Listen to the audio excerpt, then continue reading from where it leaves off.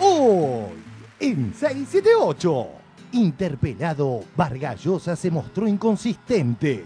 Página 12. Reportaje a Mario Vargallosa sobre su conversión del socialismo al liberalismo. Periodista. Si quiere, pasemos a Friedman. Estuvo varias veces como invitado en el Chile de Pinochet. Pero fue a dar conferencias. Hasta escribió cartas de agradecimiento a Pinochet por haber aplicado sus recomendaciones económicas. No conozco esas cartas. Son de 1975. Aquí están impresas. Podemos leerlas, pero se extendería el reportaje. Vargallosa pedirá por CN23 y Paca Paca. He escuchado todas las lo que se ha dicho y nosotros estamos en un problema también en cuanto a que no tenemos posibilidades de que un programa de las padres y de Teresa Parodi no salga en la televisión. Entonces nosotros estamos haciendo correr una carta y sería muy importante que usted la firme. Yo le, le dirigí a usted con mucho respeto, le he hecho esta carta, esta se la dejo. Muchas gracias señora, déjemela, yo la voy a leer con cuidado. Y esta es, esta es lo, que, lo que la estamos pidiendo. Ya hay cientos y cientos de firmas que pedimos y sería muy importante para nosotros que usted firmara. Y como usted ha hablado de la libertad de expresión, nosotros también peleamos por eso.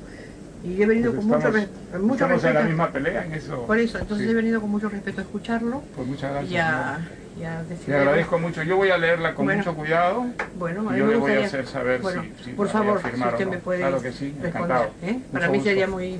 Y le agradezco mucho que me, me haya recibido. Nada, encantado. Nos visitan Osvaldo Bayer y Horacio González. Se pronostican vientos leves del sur, amplia visibilidad y programón. Temazo el de Barragán, ¿no? Va de nuevo. Señor Barragán, a escuchar una canción que hizo usted. No, eh, no exactamente. Eh, yo conseguí, es un material que. Yo no sé por qué me meto en estas cosas. Me diga. Se trata de una canción de Gianni Magneto. Sí. Gianni Magneto viene a ser un alter ego del famoso señor Héctor. Estaba oculto en algún anaquel por allí, Sí, que parece que es un cantante romántico italiano, o por lo menos él, San Remo. una versión San Remo de Magneto que cuenta sus, eh, sus dolores y sus angustias frente a esta situación que está viviendo. Esto es una grabación en vivo, Ah, creo, si no me equivoco, en Viña del Mar. Ah, es de Viña del Mar. Esta noche ya seré una nueva edición. Las notas de mi clarín también suenan en toda la nación. Esta noche ya y empiezo a sentirme mal. Por años te busqué en cada etapa y cada editorial. No, no puedo saber dónde estás, si hay una sombra aquí detrás que a mí me nubla la razón, mi vieja amiga soledad, a quien yo llamo crispación y no me la puedo arrancar.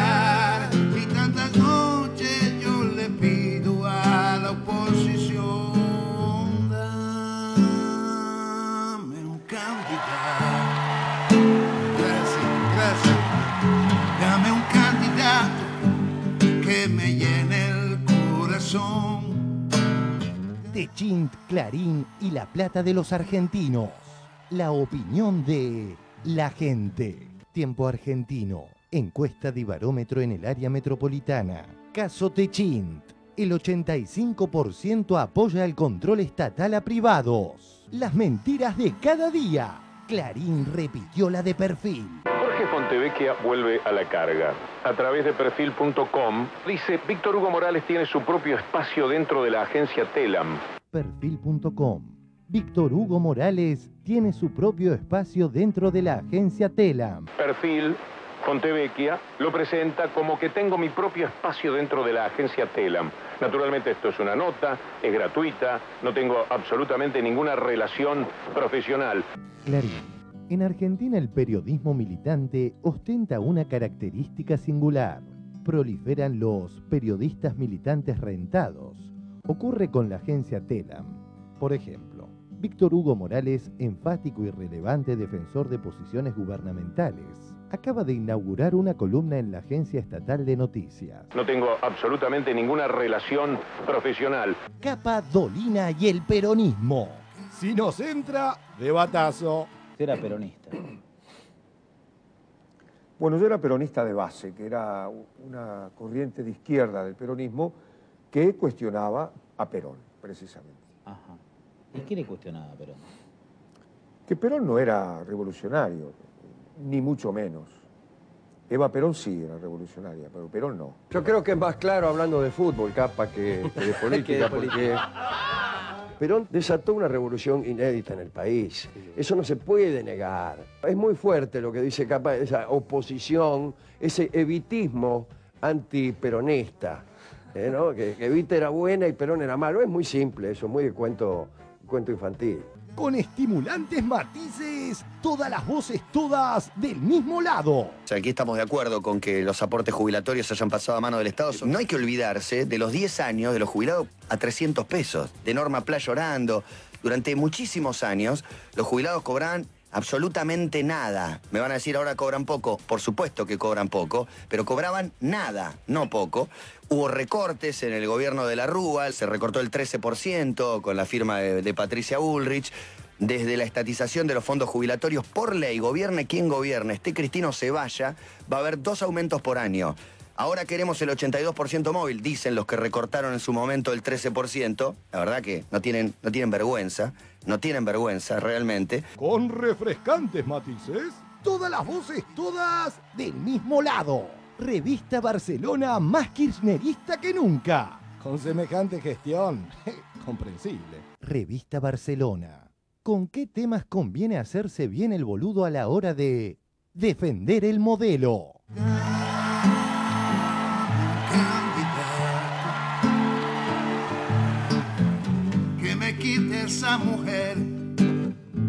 Que me deje comprender que hay, que hay un futuro para mí y que la podré olvidar. Cuando se vaya de mi vida para siempre y esta que nadie puede ya sanar, ni el peronismo federal, ni los radicales, ni el PRO, tampoco pudo la rural, y en cada oscura operación te pido, amigo opositor, quítame pronto este dolor. Un bloqueo a Macri. Diarioregistrado.com. Inconstitucional. El juez Gallardo suspendió el polémico decreto de Macri. Suspendió la vigencia del decreto del jefe de gobierno porteño en el que se penaliza la protesta gremial de trabajadores de empresas periodísticas. Otro día de descomunales noticias. 1. Crecimiento industrial. Página 12. Para todos los gustos. La actividad fabril trepó 8,8% en marzo. El complejo automotor lideró la suba, pero la bonanza es generalizada. Van 18 meses seguidos con aumentos. 2. Fin de largo a pleno. Éxito turístico por Semana Santa. Ante el feriado largo, la ocupación hotelera es del 70% en todo el país. En Mar del Plata sobresalieron los 5 estrellas con ocupación que superó el 80% y en Humahuaca llegó al 96%. En la autovía 2 circularon hasta 3.000 vehículos por hora.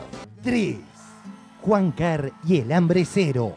Según datos del Programa Mundial de Alimentos, hay más de mil millones de personas desnutridas en todo el mundo. México, Costa Rica, Chile, Uruguay, Cuba y Argentina se ubican dentro de los países con menos desnutrición del planeta. La Argentina, aunque no lo sepamos, está por cursar el hambre cero. Hace 10 años que el hambre viene bajando. Y el año pasado, con cuatro días de la cosecha del año pasado, todos los hambrientos de Argentina comerían un año. Esto es trabajo privado, público, del Estado. La asignación universal, en nuestros números, hubo 550.000 pobres extremos menos. O sea, la tragedia social de la pobreza extrema bajó en 550.000. 4. Noche musical en 678. Hoy, las del abasto. Del barrio La Mondiola, sos el más rana y te llaman garufa por lo bacán. Tiene más pretensiones que Bataclana que hubiera hecho suceso con un gotán.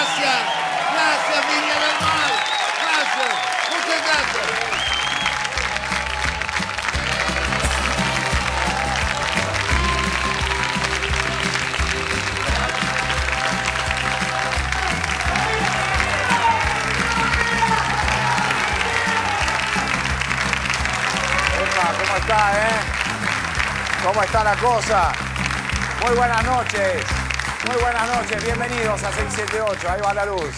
Como ustedes saben, los acompañamos durante una hora y media con este habitual resumen crítico de lo que ocurre en los medios de la República Argentina. Estimados colegas, muy buenas noches. ¿Cómo les va? ¿Todo bien? Buenas noches. ¿Cómo va? Anima Nieto. Le sale muy bien a Barragán, sin duda.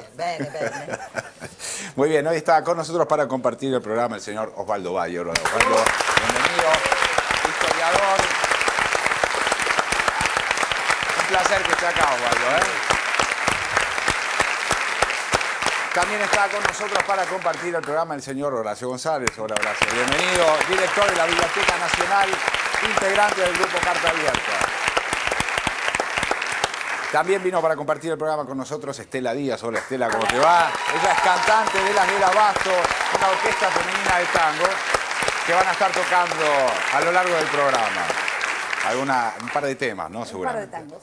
Muy bien, vamos al primer informe, tiene que ver con Vargallosa, nuevamente. En este caso, dio una interesante nota en página 12, vamos a verla y la discutimos. Interpelado, Vargas Llosa se mostró inconsistente. Se ha tildado al Nobel de repetidor de eslogans neoliberales y en la entrevista que le realizó Página 12 ante el intento de profundización de los periodistas, Vargas Llosa patina fiero. Página 12. Reportaje a Mario Vargas Llosa sobre su conversión del socialismo al liberalismo. Periodista. Usted acaba de participar de un seminario sobre populismo organizado en Buenos Aires por la Sociedad Montpellerin. Popper fue uno de sus fundadores. Vargas Llosa. Sí, claro, Popper estuvo en el año 47. Y Friedman y Hayek también. Los dos terminaron sosteniendo la dictadura de Augusto Pinochet. No tienen ellos la culpa de la dictadura de Pinochet. Sostenes, no causantes. Pinochet aplicó políticas de mercado, pero jamás apoyó la política liberal que parte de la democracia política. Pinochet no apoyó el liberalismo político, pero Friedman y von Hayek apoyaron la dictadura de Pinochet. No, no. Apoyaron la política económica. Pensaron que la política económica era la buena, pero nunca apoyaron la dictadura de Pinochet. Pero no estamos hablando de las ideas, sino del apoyo a una política concreta. Pues yo no conozco ninguna declaración de von Hayek a favor de Pinochet. Si quiere, pasemos a Friedman. Estuvo varias veces como invitado en el Chile de Pinochet. Pero fue a dar conferencias. Hasta escribió cartas de agradecimiento a Pinochet por haber aplicado sus recomendaciones económicas. No conozco esas cartas. Son de 1975. Aquí están impresas. Podemos leerlas, pero se extendería el reportaje. Defensor del neoliberalismo, un defensor del libre mercado, un defensor de todo el daño que sufrió la Argentina en la década del 90. Es el proceso de liberalización económica, de apertura hacia los mercados del mundo, de privatización del, del sector público, pasos indispensables hacia el, hacia el desarrollo se están dando, como en México, por ejemplo. El caso de Argentina también es interesante. ¿ah? Eh, yo no me esperaba de un presidente como Menem las reformas que está haciendo económicas, que también en ese país donde hay pues tantos recursos ya dan indicios ¿no? de un progreso. O sea que hay algunos, algunos países que parecen bien encaminados. La economía debe funcionar con tanta libertad como sea posible y con la menor regulación que sea necesaria. Yo sueño con empresarios que no vivan subsidiados ni molestados por un Estado ineficaz e invasor. En la década de Menem se criticó mucho el discurso único, ¿se acuerda? Que bajaba del poder. ¿Esto es parecido o es peor? ¿Esto es parecido o es peor? Mucho peor. ¿Por qué? Menem parece Ili al lado de Kirchner. Porque Menem era un corrupto, simpático, que dejaba gobernar, que dejaba gobernar. Lilita Carrió dice que Menem dejaba gobernar. ¿A Mira, dejaba yo no- gobernar? a los empresarios. Ah, ahora entendí. Era gobernado, Claro, es lo que dice él. Argentina, ojalá en el futuro elijan mejor, elijan eh, lo que ya tuvieron. ¿A dónde tiene que volver Argentina? ¿A dónde quiere que vuelva Argentina? A cuando, de la a cuando Rúa? Menem, no, cuando A Menem dejaba gobernar. Elijan eh, lo que ya tuvieron. Un presidente como Menem, las reformas que está haciendo, económicas, ya dan indicios ¿no? de un progreso. Elijan eh, lo que ya tuvieron. Yo creo que entiendo todo en política latinoamericana salvo Argentina. ¿Cómo pueden estar una pareja como los Kirchner gobernando ese país? ¡Qué degradación!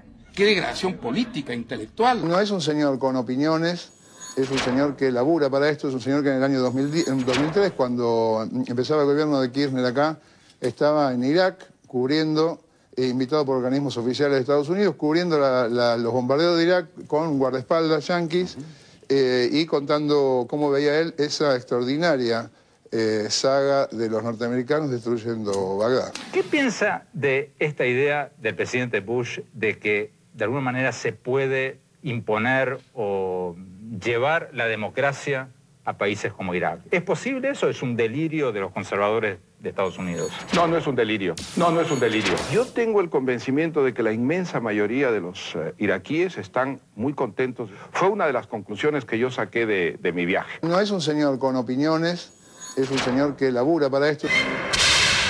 A esta altura del informe, es evidente que Horacio González abrió un debate mucho más amplio y profundo que buscar ganadores y perdedores de la supuesta contienda. Parece que este, en todo caso, es un debate que parte de un hecho lamentable. Como es esa carta, Horacio, con todo el- aprecio que te tengo, me parece lamentable. Mira, cuando... No cuando que me lo digan acá los presentadores del programa. cuando- con todo respeto, Horacio, me parece que este debate ya está perdido. Es un debate que está perdido. Este, frente a la presidenta que tuvo que salir a decir, bueno, este, que, que había que este, eh, propiciar la discusión, digamos, y no callar voces.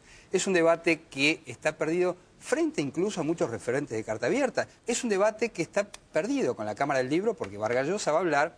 Es un debate que está perdido con Vargallosa y es un debate que está perdido con el propio Horacio González, porque tuviste que desmentir, digamos, o, o de alguna forma retirar esa, esa carta. De modo que, yo insisto, no hay debate posible, y yo entiendo que hay debates saludables este, en una sociedad, pero no es este caso. Bueno, bueno, veo que Federico se ha tomado un gran trabajo y lo, lo festejo. Además le dijo que perdió por esto, Sí, por sí, esto. sí, sí, Eh, solo faltaría que yo goles. lo, lo invite a que me sustituya en la Biblioteca Nacional, cosa que efectivamente te aseguro Sería que es, capaz. es un trabajo intrincadísimo. A mí me parece, con todo respeto por, por Federico Andajasi, que un debate es un debate, o sea, y se debate a veces, muchas veces, no para ganar, digamos. Se debate también por el honor, por ejemplo, o se debate también por convicciones, digamos. Y me parece que eso eh, Andajasi lo, lo borró de un plumazo, digamos, no lo contempló en ningún momento. Eh, y salió a decir que este debate estaba perdido. Para mí el debate ni siquiera, el centro del debate me parece que no empezó. Lo de Horacio González, más allá que yo creo que el único error fue que puso director de la biblioteca, abrió un debate extraordinario. El debate extraordinario entre lo que es los intelectuales y la política. Un debate fabuloso, porque si no, todo este debate durante este último mes no hubiese existido. Pues bien, dejemos lo anecdótico y retornemos al meollo. Usted acaba de participar en una reunión sobre el populismo en América Latina.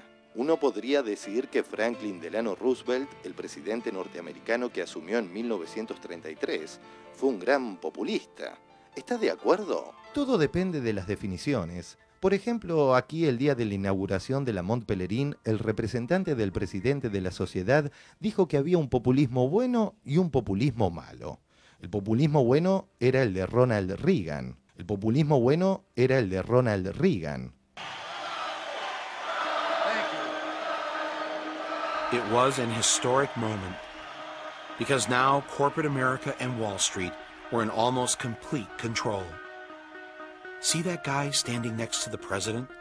You know, the one that looks like a butler? His name was Don Regan, the chairman of Merrill Lynch, the richest and biggest retail brokerage firm in the world. He took the key position of Treasury Secretary so he could enact the tax cuts that the rich wanted. Reagan then became White House Chief of Staff as the president started to fade. Then they should give the president what 43 governors have a line item veto. And uh,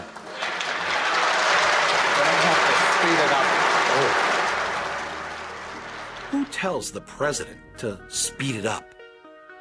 The man from Merrill Lynch, that's who. Things in America would never be the same again. The country would now be run like a corporation. El populismo bueno era el de Ronald Reagan. Es el momento en que comienza el proceso de mayor desigualdad histórica de los Estados Unidos. Lo dice Paul Krugman, otro Nobel pero de economía, no de literatura. Sí, pero si yo tengo que corregir cada frase vamos a perder mucho tiempo. No es corregir o no corregir, es una entrevista. Los liberales no estamos a favor de que haya desigualdad. ¿Qué quieren? Que todo nazca del éxito, del esfuerzo, de la producción de bienes o servicios que benefician al conjunto de la comunidad. Lo que no es legítimo es que esas diferencias se establezcan a partir del privilegio o de la desaparición de la igualdad de oportunidades de base, que es un principio liberal. ¿Y qué sucede cuando, por ejemplo, como dice Krugman, Reagan modifica la política impositiva y quita impuestos a los más ricos? ¿No cambia lo que usted define como igualdad de oportunidades de base? Hmm, es que ahí tendríamos que discutir muchísimo. El caso de Argentina es un caso que yo tengo siempre presente porque, porque a mí me conmueve mucho y en cierta forma me desgarra. Argentina era un país del primer mundo, del primer mundo, cuando tres cuartas partes de Europa eran el tercer mundo todavía. Argentina era un país enormemente próspero y era una democracia a principios del siglo XX. En 1910 se gobernaba con fraude, se gobernaba con represión, había ley de residencia, la ley de Miguel Cané, que significaba que Los cualquier extranjero podía ser expulsado, pero sin delinquir. Por ejemplo, la pena, el principal delito que hacer era tratar de organizar un sindicato. Pero además había algo fundamental, no había leyes sociales. Es decir, cuando se habla de la Argentina, rica, ricos eran algunas familias oligárquicas, aristocráticas, que vivían como reyes, que colocaban lo que producían sus cetáceas a precio de oro en el mundo. Pero la gente, es decir, vos y yo hubiéramos vivido muy mal. Argentina era un país enormemente próspero y era una democracia a principios del siglo XX. ¿Qué pasó para que este país que había dado esos pasos tan absolutamente extraordinarios en el progreso, Tratando de ocultar los claros indicios de injusticia y de creciente violencia social, en mayo de 1910, una Argentina atravesada por profundas contradicciones se apresta a celebrar el centenario de la Revolución de Mayo. Como en otros momentos de la historia, un gobierno de legitimidad dudosa intentará mostrarle al mundo un simulacro de país pujante y progresista. Argentina era el, el- el ejemplo que veíamos, el país que envidiábamos. Federal Corta decreta el estado de sitio y promueve una ley de defensa social que establecía la pena de muerte, limitaba la actividad sindical, prohibía el ingreso de extranjeros procesados y la prensa anarquista. ¿no? A esto tenés que sumarle el accionar de los grupos de derecha que quemaban locales sindicales, anarquistas y socialistas. ¿no? Ellos llegaron a quemar la carpa del payaso Frank Brown. ¿Por qué? ¿Era anarquista? No, no, había cometido la locura de dejar entrar gratis a los pibes pobres. Argentina era el, el- el ejemplo que veíamos, el país que envidiábamos. Pregunta final. Tras deschavar página 12 su inconsistencia, ¿no le habría convenido a Vargallosa venir a 678 que somos un poquito más superficiales?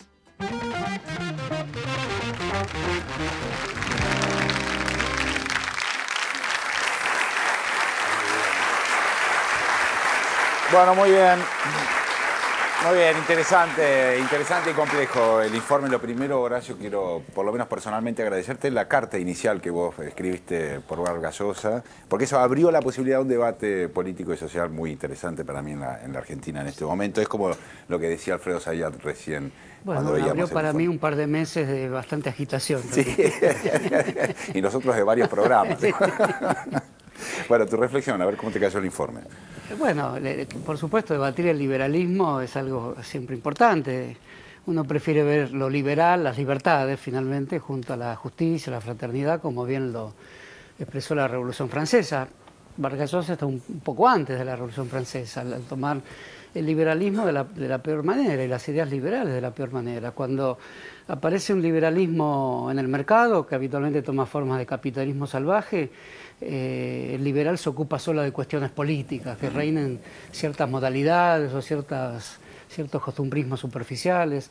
Y, al revés, cuando hay feroces dictaduras, el liberal este, las disculpa pensando en que hay formas económicas aceptables de mercado, de modo que la decisión entre la esfera política y la esfera económica, al no poderlas pensar en común, como intentaron todas las grandes teorías políticas, es el, destino de, la insuficiencia de la reflexión de, Vargas Llosa. Por eso apena un poco, para quienes somos sus lectores, finalmente, apena un poco verlo en este, en este tipo de de fragilidades.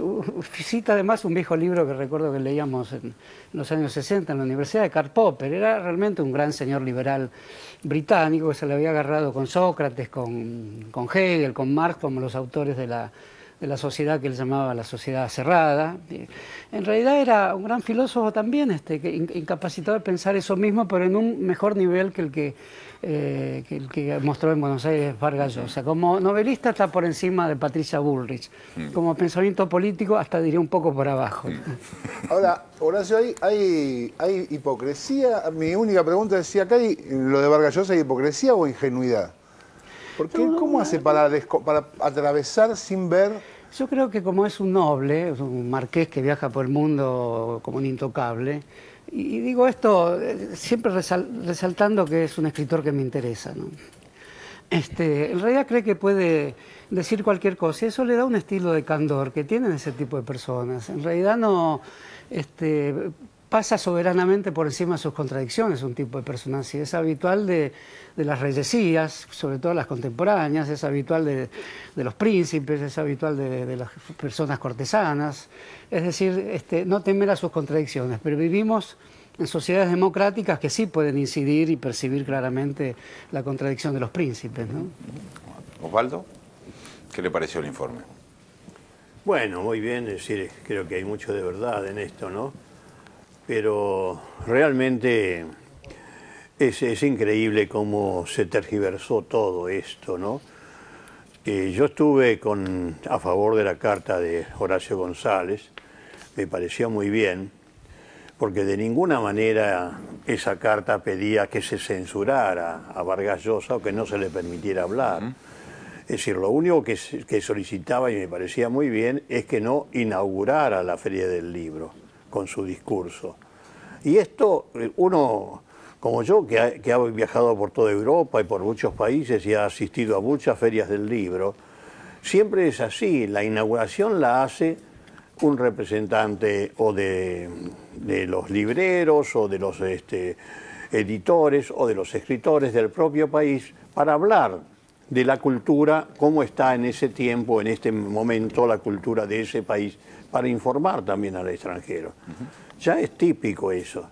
Y no ah, viene un escritor extranjero a hablar de, sus ideas, no ya de literatura, sino de sus ideas económicas.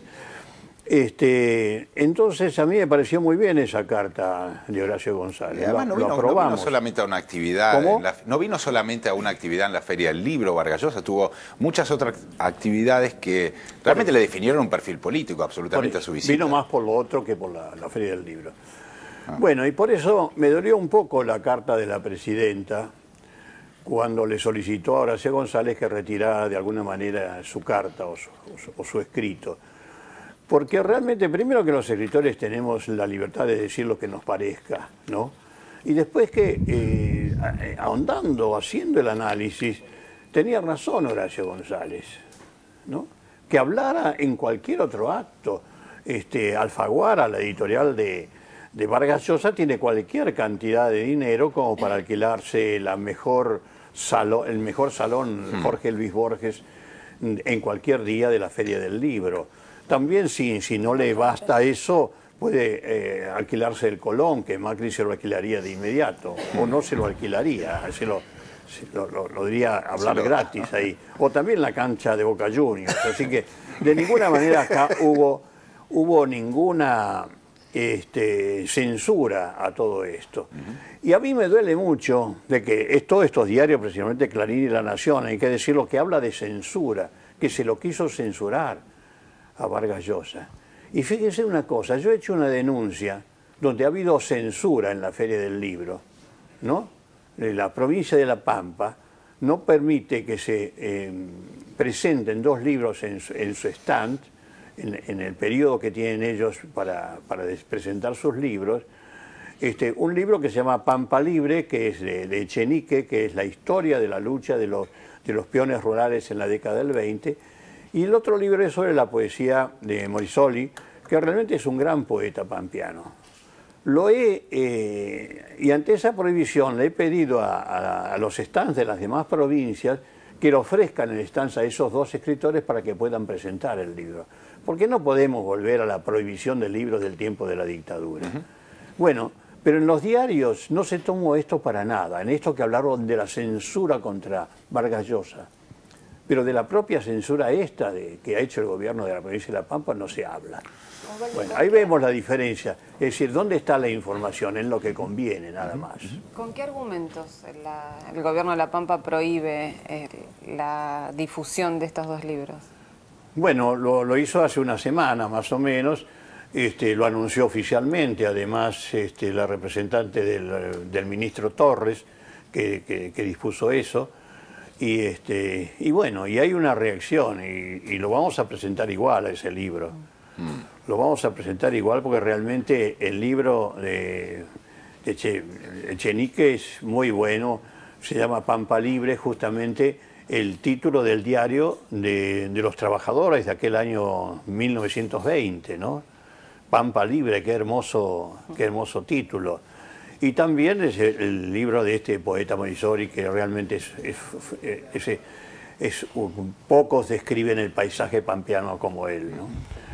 Este, bueno, el gobierno, eh, pese a que yo lo he publicado esto en una contratapa del diario Página 12, el, el gobierno de La Pampa no ha dicho, hecho ninguna declaración. Y la Fundación Como que Libertad. no le da importancia. La Fundación Libertad, algo de los que estuvieron apoyando, digamos, la llegada de Vargas Llosa, tampoco. Tampoco, eso nada, por supuesto. Este, Bueno, no, y además agregar esto de que el señor Vargas Llosa que, que quiera venir a enseñarnos lo que es el liberalismo, es un poco cómico, para no decir otra palabra, ¿no? Porque, bueno, este, habría que contestarle a este señor lo que no- nos, el mundo que nos está dejando el liberalismo. Yo vivo parte de mi vida en Alemania, que es eh, uno de los capitalismos mejores y más honestos, digamos, y todo lo Ujú. demás. Pero bueno, pero el número de desocupados no desciende de los 4 millones. Y hay que ponerse en el papel del, del- que antes cobraba el 62% de su sueldo cuando desocupado. Ahora ya se acabó eso, cada vez menos. ¿no? Es, ahora está el- la, se llama el- el- el- la ley Hartz, que es, este, es un cálculo que nadie lo entiende. Pero bueno, y, y al mismo tiempo, por ejemplo, esos desocupados están cobrando un, un sueldo de 600, 700 euros por mes, mientras que uno lo compara con lo que gana, por ejemplo, el presidente del, del Deutsche Bank, gana, dicho oficialmente, un millón de euros por mes. Ah, miércoles. En el último año ganó 12 millones en el año. ¿Eso es democracia? ¿Eso es justicia? Eso es el liberalismo, el denominado liberalismo del señor Vargas Llosa. Entonces, bueno, hay que saber criticar y hay que crear un mundo realmente con más sentido de la generosidad, pensando en todas esas familias que apenas les alcanza para comer. Horacio, ¿quieres hacer alguna aclaración? Bueno, sí, que acabamos de escuchar el verdadero discurso de apertura de la Feria del Claro. Libro.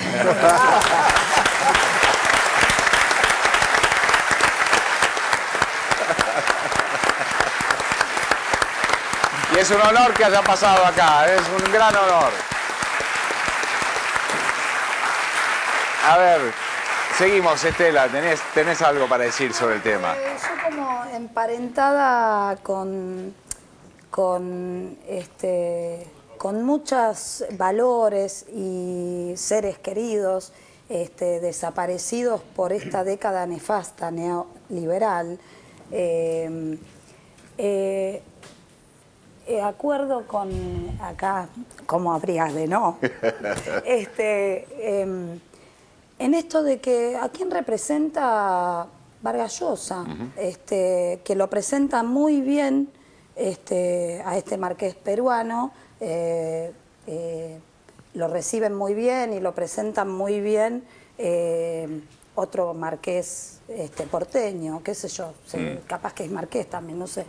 Este, y, bueno, y acordando con Osvaldo en eso de que a, a, mí no me representa y como sí me representan este, hermosas eh, personas como, como, como quien ha dado su discurso de apertura, como funcionarios,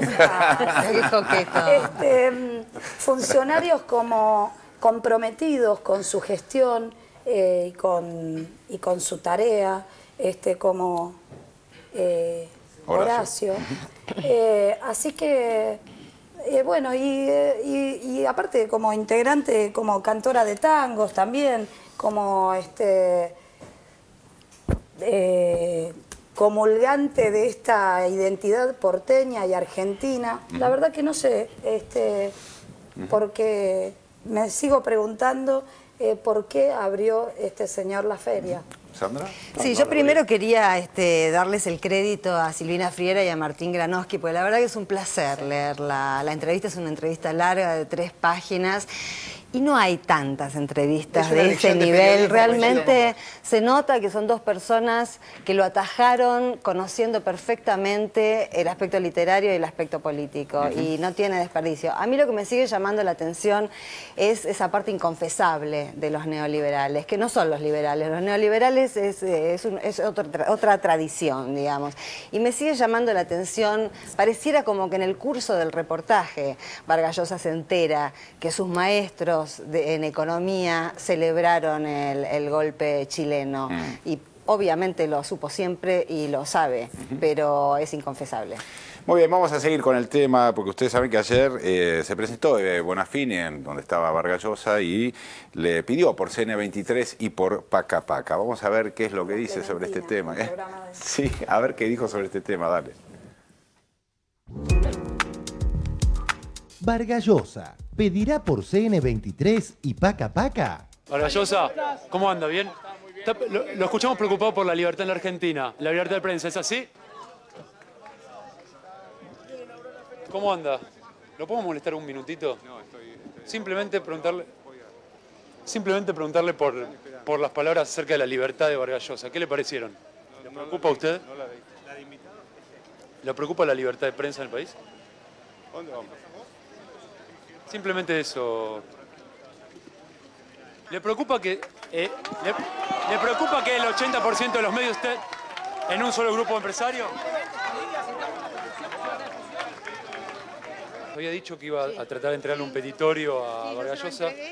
Me gustaría leerlo. Lo que le pido que firme es esto, por la libertad de expresión. Los trabajos firmantes, sostenedores de la libertad de expresión, acompañamos el pedido de la señora Eve de Bonafini de la compositora y cantante Teresa Parodi y de todas las madres y quienes las acompañan de solicitar a Cablevisión que permitan la salida del canal CN23 y por lo tanto del programa La Clementina según indica la ley vigente. ¿Tuvo alguna respuesta todavía? No, él dijo que lo va a leer, que lo va a leer y que, y que, me, va a contestar. He escuchado todas las, lo que se ha dicho y nosotros estamos en un problema también en cuanto a que no tenemos posibilidades de que un programa de las padres y de Teresa Parodi no salga en la televisión.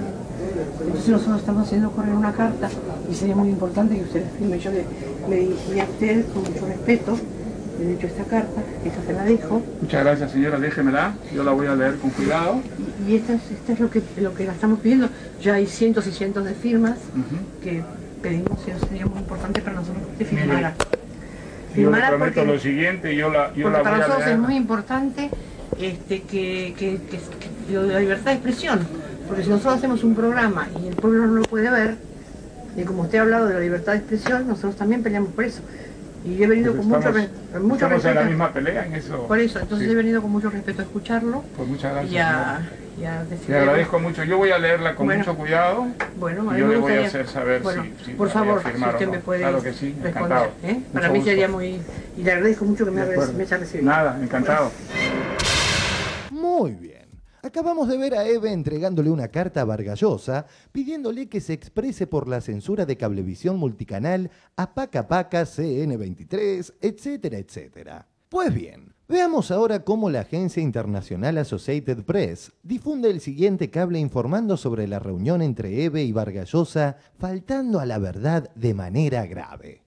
Como ejemplo, veamos a Yahoo España levantando la noticia. Cable de Associated Press publicado por Yahoo España. Poco antes de iniciar su charla, Vargallosa mantuvo un breve encuentro con la líder de Madres de Plaza de Mayo, Eve de Bonafini, cercana a la presidenta y quien le entregó un petitorio de la Organización sobre Libertad de Expresión. La Organización de las Madres está en contra de la transmisión de un programa de televisión sobre ellas. El programa sería emitido por una empresa de cable que pertenece a un grupo Clarín, opositor al gobierno que ellas defienden. Repetimos, la Organización de las Madres está en contra de la transmisión de un programa de televisión sobre ellas. Que le pido que firme es esto, por la libertad de expresión, de solicitar a Cablevisión que permitan la salida del canal CN23 y por lo tanto del programa La Clementina, según indica la ley vigente. La Organización de las Madres está en contra de la transmisión de un programa de televisión sobre ellas. Con respecto a la carta de Eve, el noticiero de Clarín Telenoche olvidó mencionar los motivos de la misma.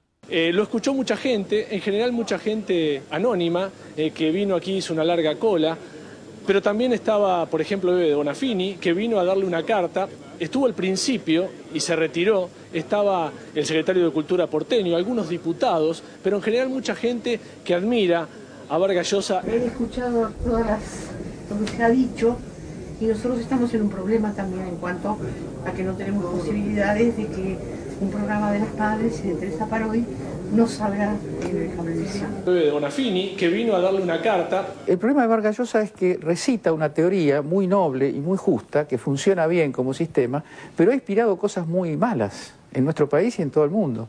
Entonces, discutirle a Vargas Llosa sobre su- en sus propios términos, libertad de expresión.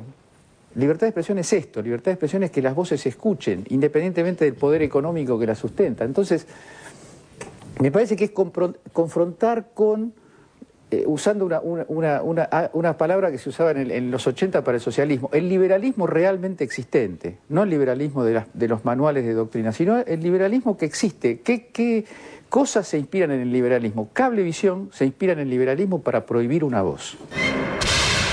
Tanta deformación y mentira da la razón a Ramonet y al propio Vargallosa. Hoy la información nos oculta la información. La información en, muchos casos solo sirve para ocultar otra información. Se difunde una información que nos impide acceder a la buena información. Es lo que yo llamo la censura democrática. Solo se prohíbe algo que se teme, ¿no? Si no, ¿por qué se prohibiría?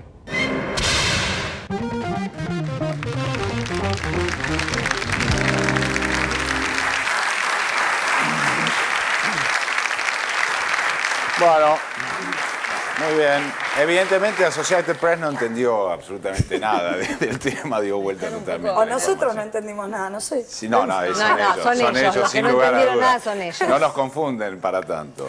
Eh, a ver, Horacio, ¿cómo te, cómo Bueno, te en sus entrevistas, que, o mejor dicho, en su discurso de ayer, indicó que su formación era muy argentina, porque en sus años mozos, en la ciudad de Cochabamba y después en, en la Universidad en Lima, leía la revista Villiquen, antes este, Sí. leía después su mamá la revista Para Ti y la revista Sur. Todo eso lo leía muy rápido. Bueno, ahora una carta también argentina, como la de Bonafini, se va a tener, se va a tomar un, un tiempo largo para leerla. Ojalá volviera a sus tiempos de juventud donde leía rápido todo lo que venía de la Argentina. Hablando de eso, un escritor, qué raro que le lleve tanto tiempo leer dos líneas. Y además me parece que lo interesante de esa, de esa escena que a uno le hubiera gustado estar, supongo, para ver lo- la, la situación, eh, percibirla, eh, está frente a un, digamos, una figura emblemática de los derechos humanos en el mundo entero. Una tremenda mujer. Cualquier intelectual, cualquier pensador, cualquier hombre que viene del arte, tiene una, una sensibilidad particular. Yo digo que la tiene cualquiera, pero supongamos, no mostraba ninguna, ninguna clase de, de interés en recibir algo emocional de ese encuentro. La atendió como, y eh, uso tu metáfora porque, o tu concepto, eh, como un marqués atiende a un vasallo. Esto, y, y Bebe, desde ese lugar de reina de los derechos humanos, aceptó ese rol porque su objetivo era mayor. Y quiero decir algo para ampliar lo que Sandra Russo dice eh, acerca del excelente reportaje que salió en Página 12, que es una lección de ese periodismo que se extraña, que realmente se extraña y que se hace muy pocas partes en la Argentina, por las razones que todos sabemos, y pensaba en la actitud del periodista, voy a dar el nombre porque es público, Jorge Fernández Díaz, que es un escritor, un intelectual también, en su rol de partner, o partener si prefieren, de Vargallosa, que aceptó no ser eh, enfocado, por lo cual aceptó un rol secundario, este que yo digo, de protagonista. Supongamos que esté dentro de los, del concepto de la escena, de ese príncipe que no permite que el periodista tenga un lugar más que en el de preguntador. Pero me extraña que no haya pensado en la honra de la profesión y no hiciera ninguna repregunta, que esto es lo que pasa en la entrevista que le hace Granowski y esta chica que ahora me olvidé el nombre. Friera. Friera. Es- exactamente, que hay repreguntas y que permiten entonces el balanceo entre, la entre, entre el reporteado y el, reporte- y el que reportea. En el caso de Vargas Llosa, si yo eh, si hubiera pensado eso, lo ideal hubiera sido que él expresara sus ideas en forma monologal, sin la intervención de un protagonista que le sirviera de bastón. Porque eso no honra lo que es el sentido de una entrevista. Esta es mi opinión, mi, que- mi pequeña opinión. Está perfecto.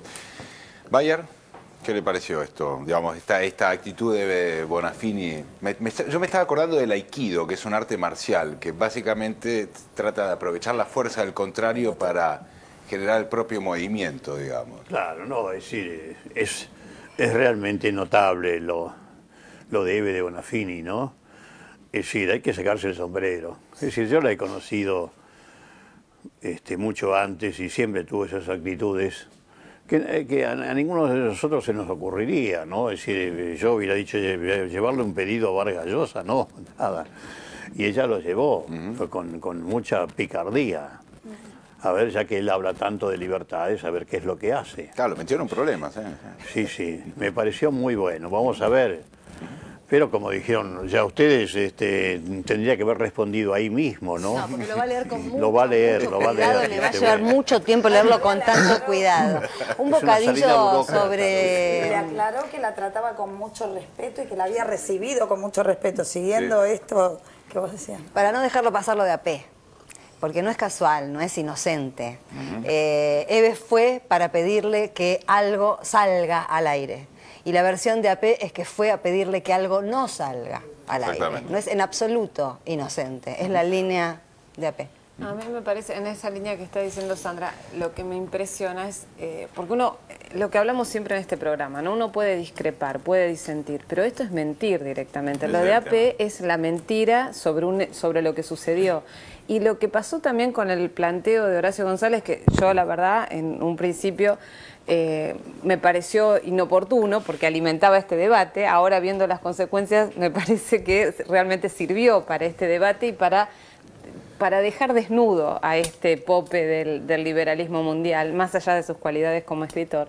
Pero creo que lo, cómo siguen mintiendo. Hoy en la nota La Crónica de la Nación sobre eh, la charla de Vargas Llosa, la entrevista de Vargas Llosa, hacía alusión en toda la introducción a la censura que había intentado hacer eh, Horacio González y a la, a la decisión de querer prohibirle la palabra a Vargas Llosa en la Feria del Libro. Es decir, siguen mintiendo sobre un hecho que no es lo que sucedió. ¿no? Y después también en la crónica de los medios, cuando vemos al cronista de TN diciendo que, que mm, Eve le entrega una carta sin decir el motivo de la carta, ahí no miente pero oculta la información. Claro, claro, era un saludo en realidad. Lo de Claro, era, bueno, lo quería verle, era un afán de pronto de, de Vargas Llosa, ¿no? Que estaba, se había mezclado ahí. La groupie de Vargas Llosa. Claro, viste, en una, en, una, en una audiencia donde se mezclaban en la primera fila Abel Pose, el progre ex ministro de Educación de Mauricio Sí. Macri, Joaquín Morales Solá. Joaquín Morales Solá, Marcos Saguinis y Juan Patito. José Sebrelli. Y Patito, y Patito. Había un... es- es Ah, varios pintas de varios colores. ¿Sabes qué? Yo me preguntaba también si eh, a raíz de, esta, de este disparador que fue la carta de, de Horacio y todo lo que sucedió después, pensaba si Vargas Llosa no amainó, no desencilló de esa... Cuando vemos, porque él se dio cuenta, porque obviamente le han pasado, lo han informado, está muy informado, cuando 678 eh, pasa el informe donde Vargas Llosa, yo voy a usar un adjetivo que a lo mejor no es el adecuado legalmente, produce esa injuria hacia la sociedad argentina, hacia el pueblo y hacia la presidenta y el expresidente, cuando dice, ¿cómo pueden votar los argentinos a ese matrimonio? Esta es, esta es una, una injerencia, digamos, eh, espiritual, eh, eh, maliciosa, que no, no corresponde al nivel intelectual de Vargas Llosa. Cuando él se da cuenta de esto que es hiriente en cualquier lugar del mundo donde pudiera pasarse para cualquiera de las sociedades, él amengua su discurso. Por eso el discurso, el discurso, perdón, o la charla que tuvo en, en la feria, fue una charla además anodina desde el punto de vista político.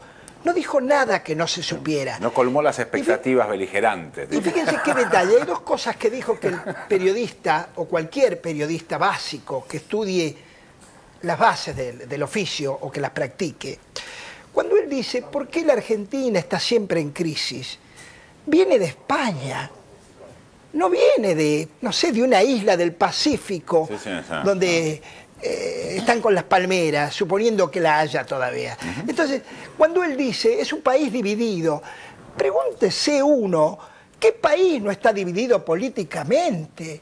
La propia España, donde él viene, no quiero hablar de ETA, hablo de los, de los dos partidos principales, Estados Unidos, en, en- en Europa, en cualquiera, en Italia. Entonces me llama la atención que no haya una respuesta del periodista. Le dijera, pero perdón, divididos y crisis hay en muchas partes. Y le puede dar pruebas de todos esos lugares donde hay crisis. Su propio país, Perú, ¿no? Bueno, Porque no lo considero peruano ya a esta altura. No, pero me Él tampoco. Hay, hay una respuesta a lo, a lo que plantea Orlando en la entrevista, la excelente entrevista de, de Página 12, en la que le plantean la crisis del liberalismo, de las políticas neoliberales que están haciendo agua en el mundo, y él en ese momento él plantea su perplejidad ante, ante el tema y dice que no opina de lo que no sabe. Entonces, solo en ese momento, cuando no, digamos, ahí se le cae toda la estantería porque es imposible sostener esas políticas con los resultados que son evidentes. Hay que avisarles a los chicos de Barcelona, eso es hacerse el boludo. Mm, También. Osvaldo, lo interrumpimos, estaba diciendo algo, disculpe. No, no, no. No. No, no. Perfecto. Entonces nos vamos al corte, ya volvemos.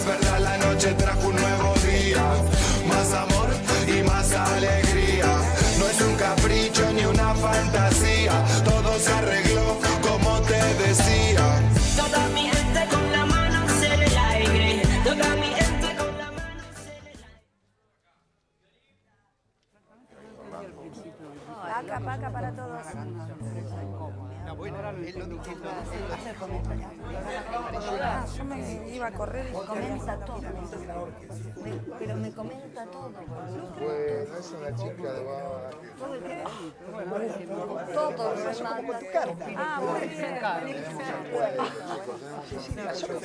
No, ahora, dígame, lo del periodista, ¿está bien lo que yo dije? Está muy bien. Hola. Vamos, vamos. Ahora te puedo decir yo. Ella está como viendo la tele en la casa. Ah, te puedo decir yo. Me corrí, la voy a pagar Dale, dale, fenómeno, sí, mejor. Fugaz. Una estrella.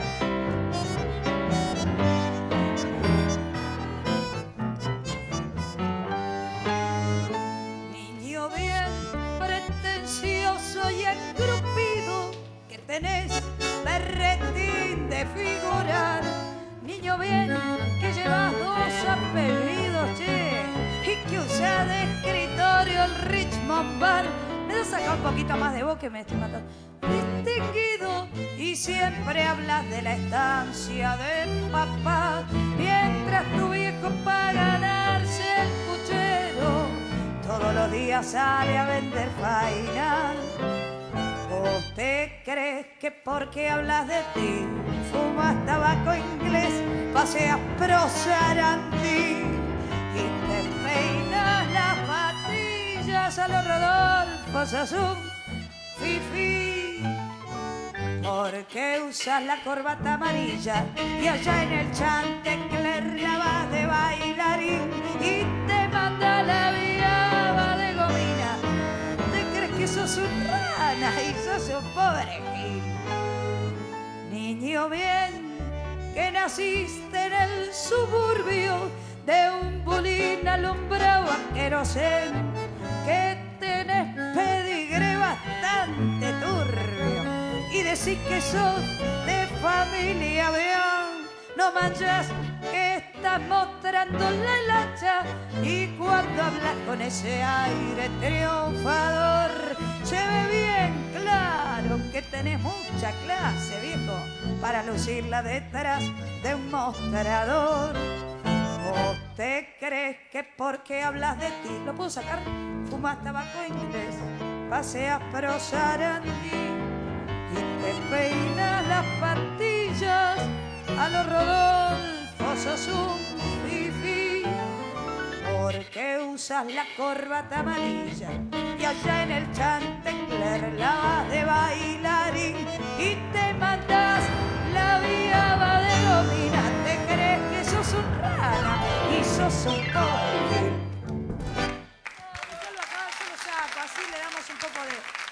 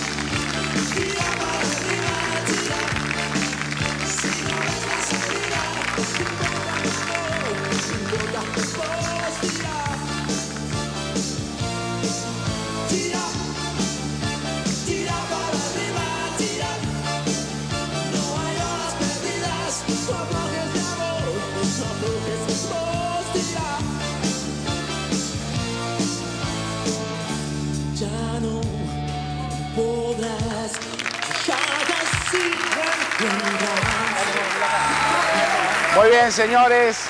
Están allí apostadas las señoras, señoritas de El Abasto, que nos van a cantar esta canción Niño Bien. Adelante, señoras. Muy bien. Ahí va, para toda la nobleza de nuestro país.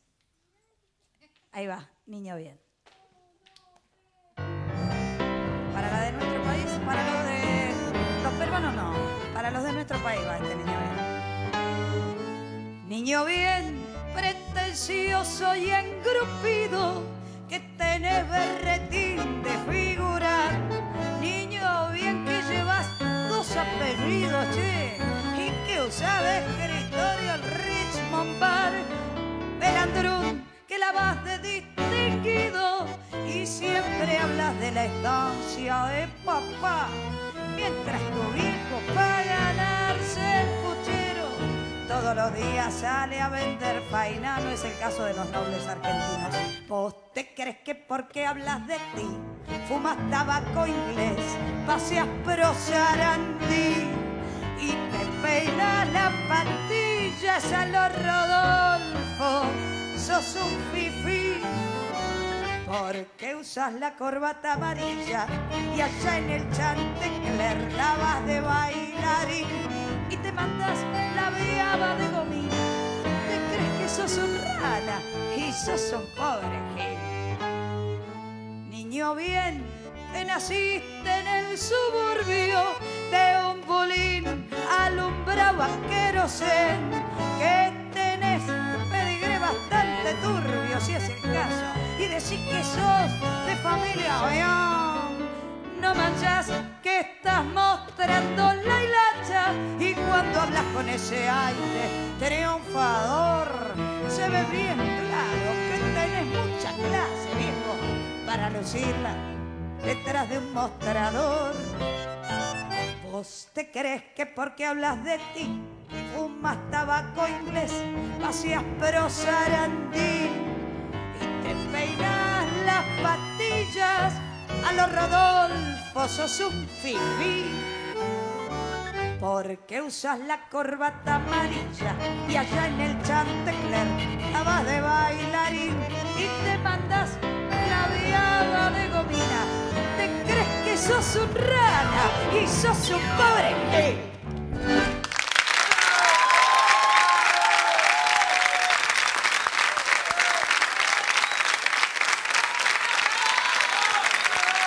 Muy bien. Muchísimas gracias a las del Abasto, muchas gracias a las del Abasto. Vamos a ver ahora un informe y vamos a debatirlo, en este caso sobre las mentiras del monopolio. Dale. Las mentiras del monopolio. El monopolio perfecciona sus técnicas de deformación de la realidad, aunque el caso Aníbal Fernández que reflejáramos a comienzos de semana difícilmente encuentre parangón. Esto dijo Aníbal. Aníbal, para terminar, Cristina, ¿continúa su mandato? Yo estoy convencido que es inevitable que ella vaya a la reelección porque cuando uno tiene que cuidar sus garbanzos, quiere que se los cuide alguien que sabe cuidar sus garbanzos. Y en este país el único que está probado es Cristina. Es decir, más vale bueno conocido que malo por conocer. Usted- Más vale bueno conocido que malo por conocer. Así miente Clarín. Clarín.com, 18 de abril de 2011. Aníbal Fernández sobre la reelección. Más vale malo conocido que bueno por conocer. Más vale bueno conocido que malo por conocer. Más vale malo conocido que bueno por conocer. Más vale bueno conocido que malo por conocer. Twitter de Aníbal Fernández. Clarín miente siempre. El desagradable de Mañeto mandó a sus esbirros a distorsionar mis dichos. Más vale bueno conocido que malo por conocer. Logrando mayor sutileza, veamos cómo titula, repitiendo hasta el hartazgo, el canal TN. El gobierno estaba presionando a la- al grupo empresario eh, Techín con el objetivo de poner tres directores en la empresa Siderar, tres directores jóvenes de eh, la Cámpora. Techín, la UOM mediadora, el sindicato ya votó en contra el ingreso de directores de la Cámpora a la empresa. Hasta ahora se ha negado el sindicalismo, la UOM puntualmente, a votar a favor de un director de la Cámpora, un director de la Cámpora dentro de la empresa. El sindicato ya votó en contra del ingreso de directores de la cámpora a la empresa. El sindicato ya votó en contra del ingreso de directores de la cámpora a la empresa. Contra el ingreso de directores de la cámpora a la empresa. El ingreso de directores de la cámpora a la empresa. Director de la cámpora. Error, siendo benévolos. Axel Kisilov no es un director de la cámpora, sino un director que entre otras características, como ser hincha de, pongámosle, Claypole, asiduo degustador del merengue con crema, muy familiero y seguidor de la banda sueca Roxette, pertenece a la agrupación La Cámpora. Escuchemos al protagonista curiosamente ignorado por los medios hegemónicos. En Siderar, el Estado tenía un representante que era Aldo Ferrer, que incluso fue presidente de Siderar, si mal no recuerdo. Y ahora, en tu caso, en la, la propuesta del Estado de designarte a vos como el director reemplazante de Aldo Ferrer, hay un cuestionamiento personal ideológico directamente. ¿Cómo, cómo se entiende este cambio? Acá el problema no es mi currículum y mi nombre, en términos de que por más que yo fuera, este, no sé, Chávez en persona y acá abajo me saco la máscara, evidentemente un voto dentro del directorio no es capaz de estatizar la empresa. Acá el problema que hay es con una política de Estado que está mostrando su desenvolvimiento. ¿Cuál es en este momento el desenvolvimiento de la política de Estado? Que dice, en aquellas empresas donde el Estado tiene una propiedad, va a ejercer los derechos políticos de las acciones plenamente, lo cual además se caía de Maduro desde el principio. De todas maneras, no es esa la cuestión. La cuestión es que están vetando la posibilidad siquiera de que el Estado eh, tome, tome en sus manos la capacidad de elegir cuál es el representante. Lo que ellos quieren es que la propia empresa sea la que decida quién lo controla. Afortunadamente, la gente, como dice la Corpo, cada vez les cree menos. La encuesta de hoy explica que al igual que ocurre con la visita de Vargallosa, los medios hegemónicos eviten hablar del fondo y se dediquen a mentir sobre cuestiones formales. Tiempo argentino, encuesta de barómetro en el área metropolitana. Caso Techint, el 85% apoya el control estatal a privados. Además, el 61,3% está de acuerdo con que la ANSES invierta en empresas argentinas. El 55,6% critica la actitud del holding de Paolo Roca de desconocer sus derechos accionarios. Y el 64,2% respalda la idea de que las corporaciones, si quieren definir políticas públicas, deberían presentarse a elecciones y fui creyendo en ti sin sospechar que estaba solo frente a un profesional de la mentira. Cantaba y vaya si emocionaba Valeria Lynch. Ah, cerrá vos, falso Héctor Mañeto, su majestad el CEO. Mi lucha por un país en serio, por el falso Héctor Mañeto. Clarín es un arma cargada de verdad, por lo que nunca publica mentiras. Si lo hace, se trata siempre de mentiras piadosas. En mi diario he prohibido terminantemente el uso de fuentes verificables. Quiero un periodismo creativo, con vuelo, que no se ciña a la pesada ancla de la realidad. Además, estoy convencido de que sin potencial y sin off the record, el periodismo sería totalmente desabrido. que solo estaba frente a un profesional de la mentira. Tu vida siempre ha sido una mentira.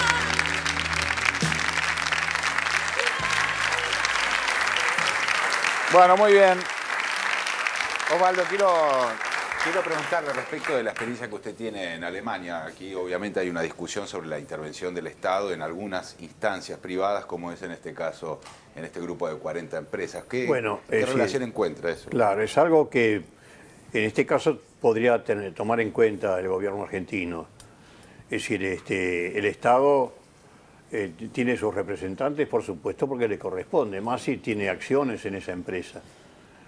Este, pero eh, se, denomina a trabajadores de la propia empresa como representantes del Estado.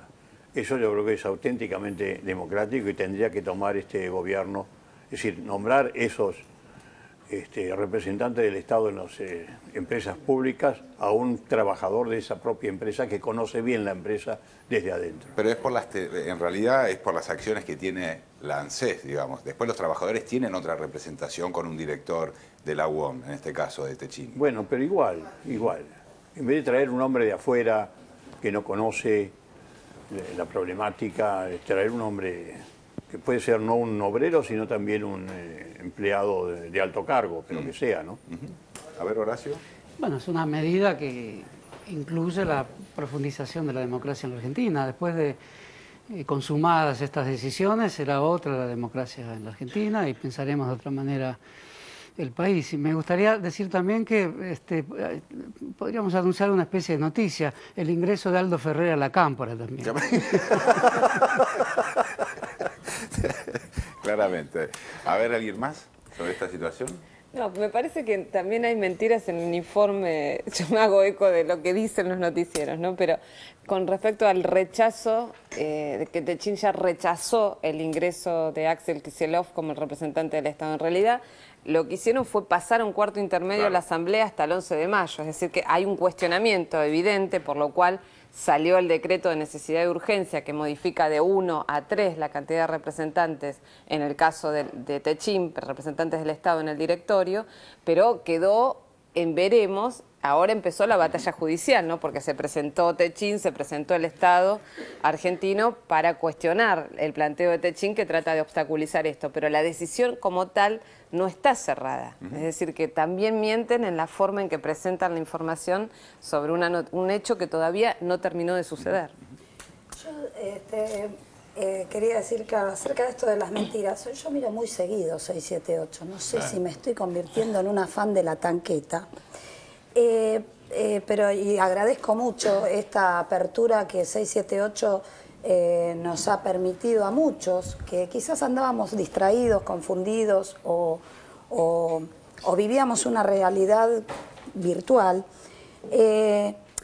Y le agradezco este, esta claridad porque, como bien decía en este programa, por eso dije que lo veo seguido y que en una oportunidad lo vi a Caballero, diciendo algo que muchas veces que lo veo me viene, que es esto de que cuando uno es juez, eh, parte en un juicio, eh, eh, tiene obligación de defenderse, más allá de lo que tenga que decir, este, y no puede hablar en contra de sí mismo.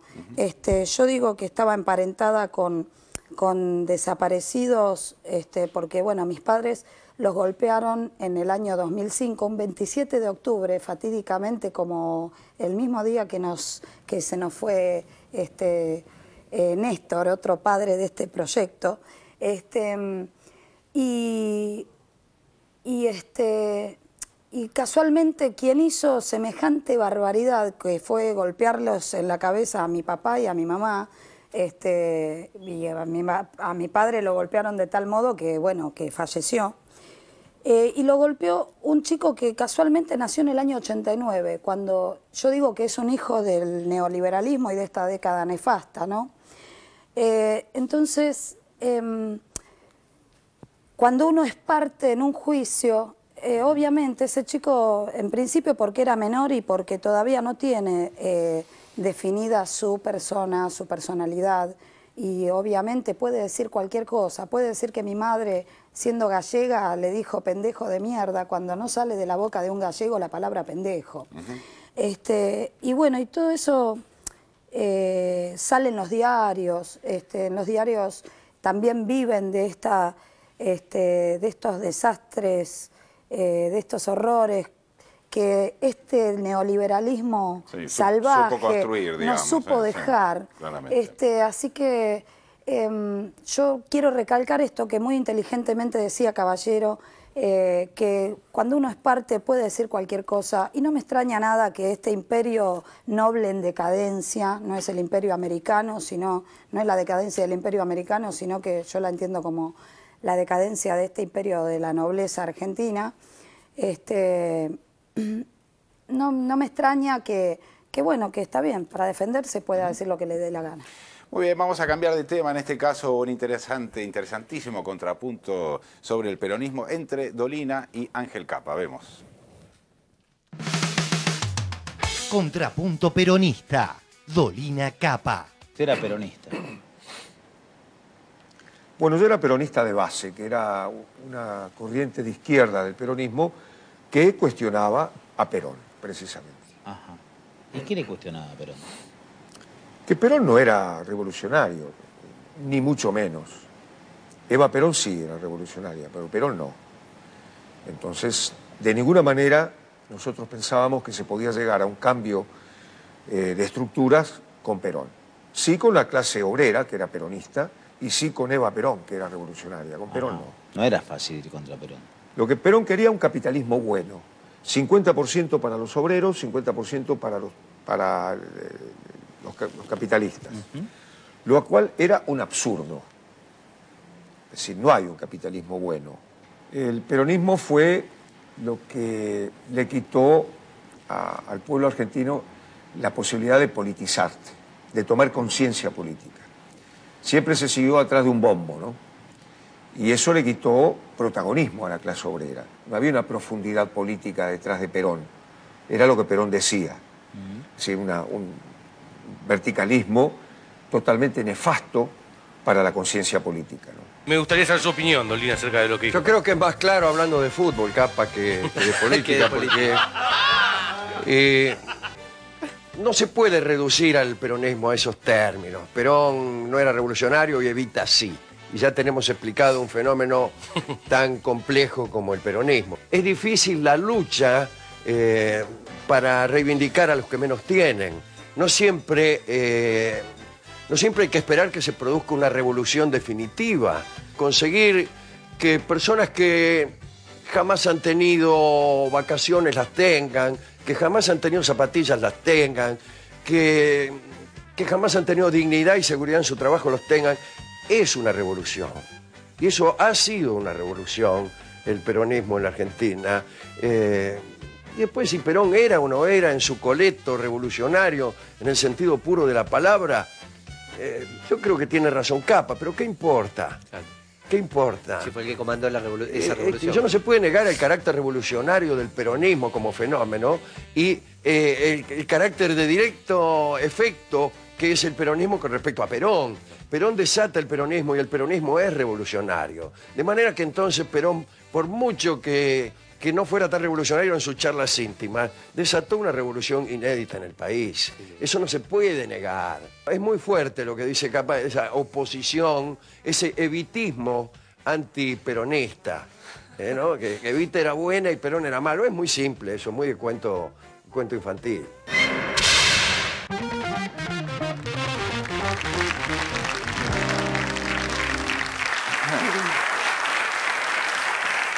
Bueno, muy bien. A ver, Horacio, ¿te parece revolucionario el peronismo? ¿Qué pregunta? Tenés 30 segundos para contestar. La cara- 30, la cara 30 de- segundos. se la Había que hablar de Johnny Manieto. bueno, eh, las palabras de Dolina son palabras escuchadas, aceptables, dichas por alguien que está en la simpatía popular.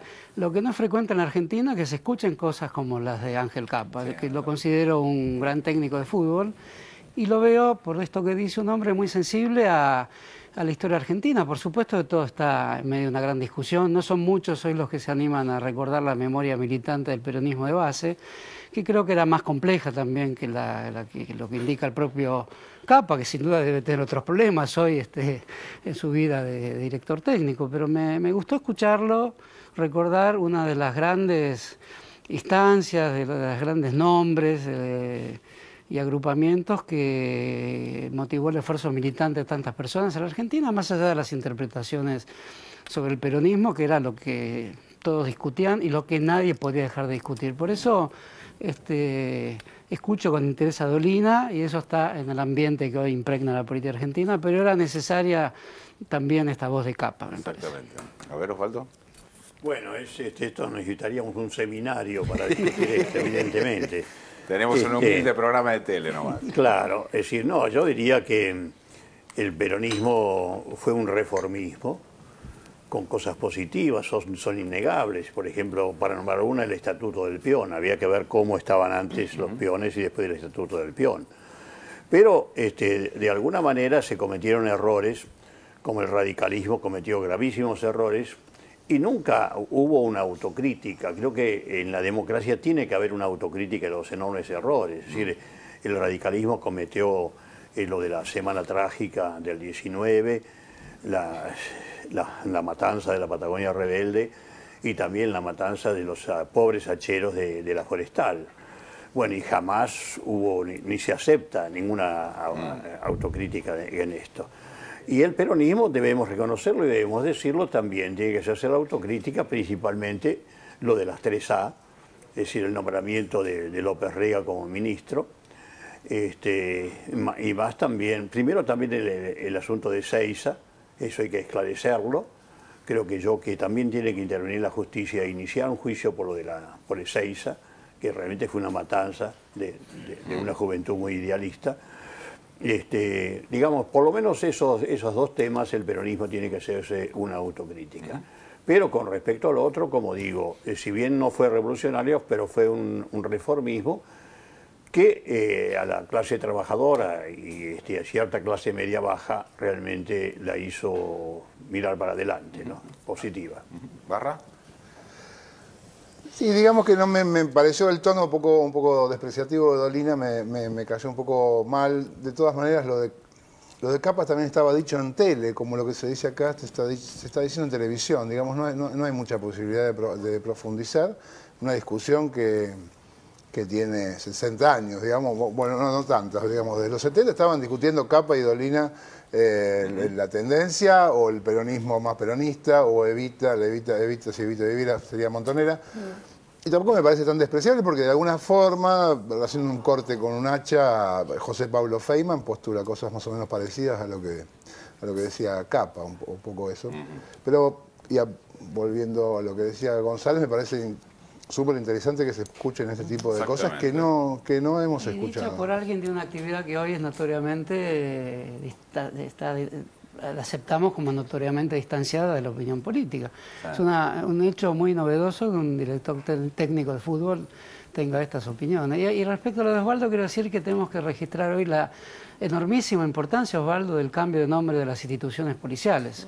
Ese es un hecho de gran relevancia, es una decisión que tomó Nilda Garré, que este, parece estar ajena a los asuntos de la vida cotidiana. Quizás merecería Yo una... que es- así, ahí sí que es una Sí. verdadera revolución. Ahí- Exactamente. Cambiar esos nombres en la policía realmente Eso ha demostrado una- mucho es una coraje decisión civil. inédita en la historia argentina. Nombren los, los ¿Cómo- nombres sí, que fueron cambiados. Sí. ¿no? ¿Te Ramón Falcone, que era la escuela de, de policía ¿no? de formación, un gran represor. Bueno, Osvaldo Beir puede decir, contar claramente quién, es, quién fue Ramón Falcone. ¿no? Y fueron reemplazados por nombres de policías que trataron de hacer de una fuerza de seguridad algo un poco más respetuoso de los derechos humanos. ¿Saben qué? Le voy a decir una obviedad, no tenemos más tiempo. Vamos al corte, dale.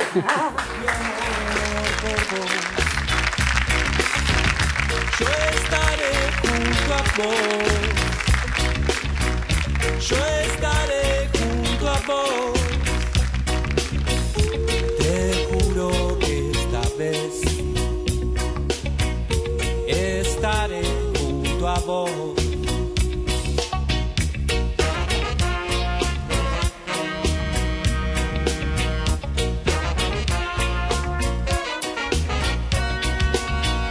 Nuestra historia no es irreal, no es una simple ficción. Hoy quiero tenerte igual.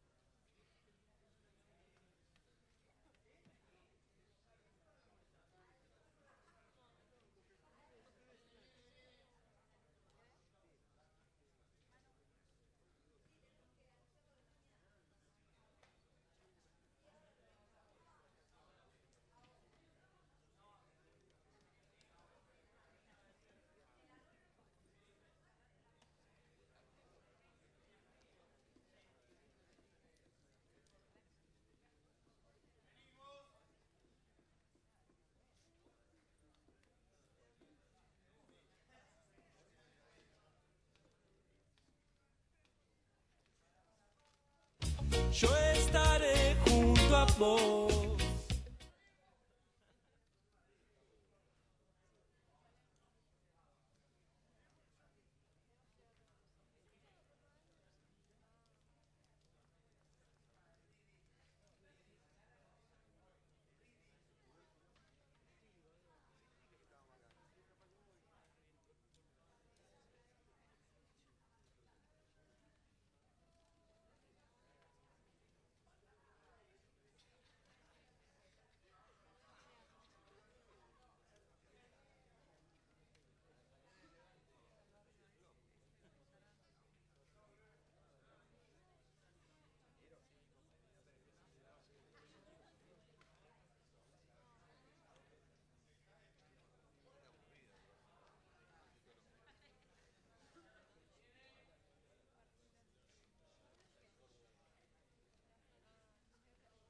Y a mí me volvió loco tu forma de ser.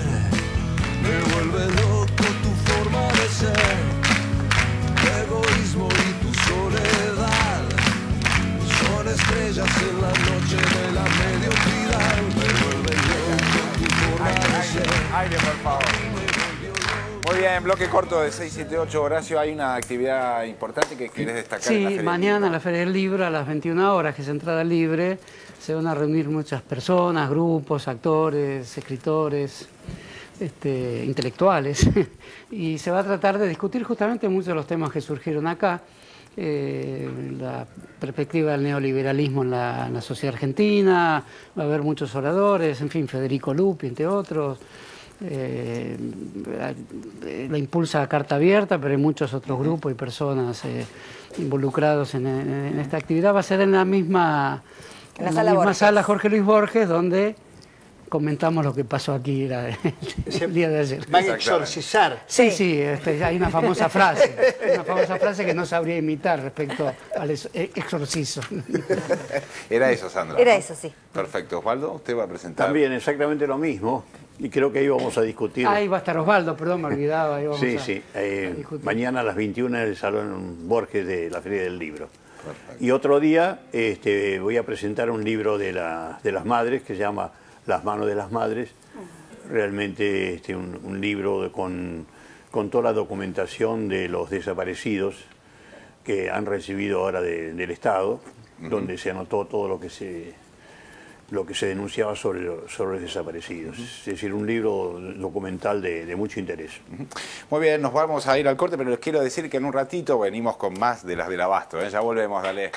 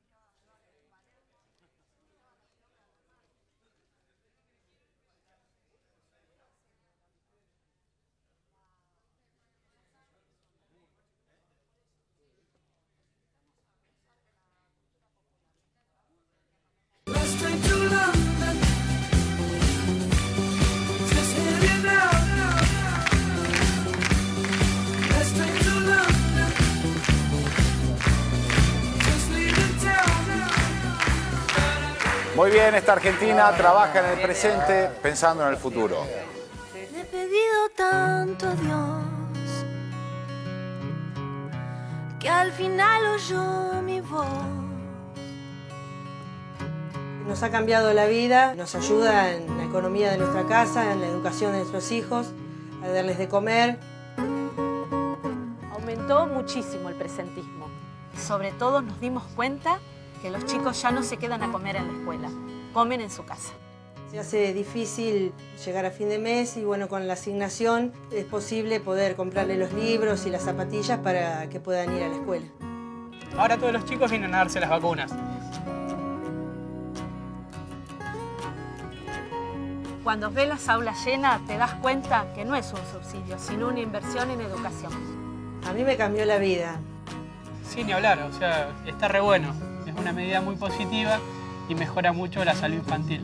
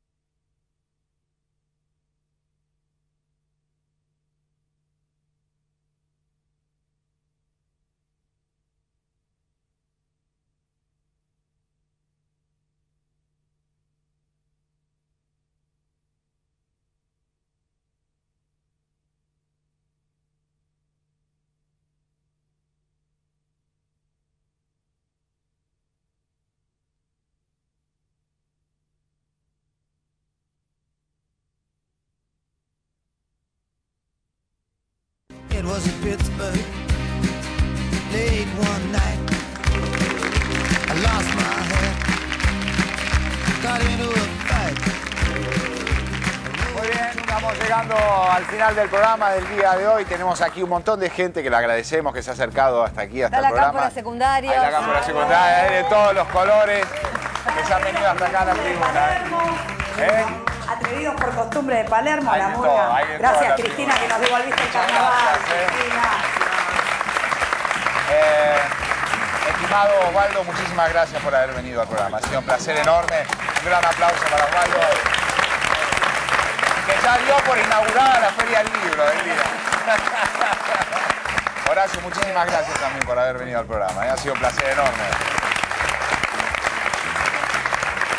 Quiero decirles que las amigas del Abasto van a estar eh, cantando en el Haroldo Conti el viernes 29, ahí en lo que es la ex ESMA. Nosotros nos vamos a encontrar el día jueves después del fútbol, como es habitual. El domingo. El domingo, ¿qué dije? El domingo. El, el domingo, el domingo, el domingo.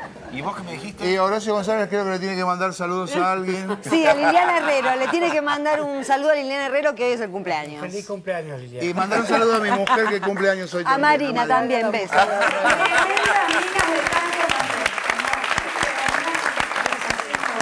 Mira, vamos a agradecer este fuelle que enciende los fuegos de la historia. Muchas gracias a Luján y a Pablo que me regalaron el fuelle. Le tira mucho, mucho, mucho, mucho viento. Sí, sí, claro. Gracias. Bueno, muchísimas gracias. Nos volvemos a encontrar el domingo, después del fútbol. Ahora se quedan ustedes, nos quedamos todos escuchando a los del Abasto. Adelante.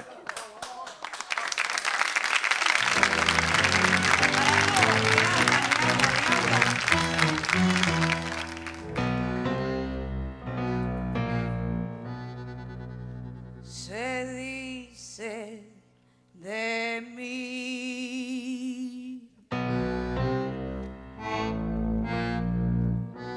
Se dice que soy chueca, que camino a lo malevo, que soy fiera y que me muevo con un aire compadrón, que parezco leguizamo. Mi nariz es puntiaguda, la figura no me ayuda y mi boca es un buzón. Si charlo con Luis, con Pedro, con Juan, hablando de mí los hombres están, critican si ya la línea perdí, se fijan si voy, si vengo o si fui. Ay, se dicen tantas cosas, más si el bulto no interesa. ¿Por qué pierden la cabeza ocupándose de mí? Ay, yo sé que muchos que desprecian comprar quieren y suspiran y se mueren cuando piensan en mi amor. Y más de uno se derrite si lo miro y se queda así suspiro resoplando como un. Si fea soy, pongámosle que de eso aún no me enteré. En el amor yo solo sé que a más de un gil dejé de a pie. Podrán decir, podrán hablar y murmurar y rebunar más la fealdad que Dios nos dio. Mucha mujer nos la envidió y no dirán que me engrupí porque modesta siempre fui.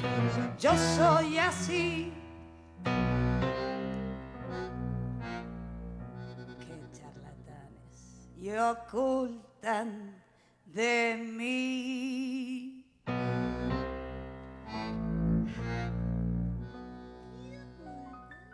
Mirale los faroles al abandoneonista. Ocultan que tenemos unos ojos soñadores, además otros primores que producen sensación. Si soy fiera, sé que en cambio tengo un cutis de muñeca. Los que dicen que soy chueca no me han visto en camisón. Los hombres de mí critican la voz, el modo de andar, la pinta, la tos. Critican si ya la línea perdí, se fijan si voy, si vengo o si fui. Se dicen tantas cosas, mas si el bulto no interesa, ¿por qué pierden la cabeza ocupándose de mí? Yo sé que muchos que desprecian comprar quieren y suspiran y se mueren cuando piensan en mi amor. Y más de uno se derrite si lo miro y se queda así suspiro resoplando como for. Si fea soy, pongámosle que de aún En el amor yo solo sé que a más de un gil dejé de a pie. Podrán decir, podrán hablar y murmurar y rebonar, mas la fealdad que Dios me dio, mucha mujer me la envidió y no dirán que me engrupí, porque modesta siempre fui. Yo soy así.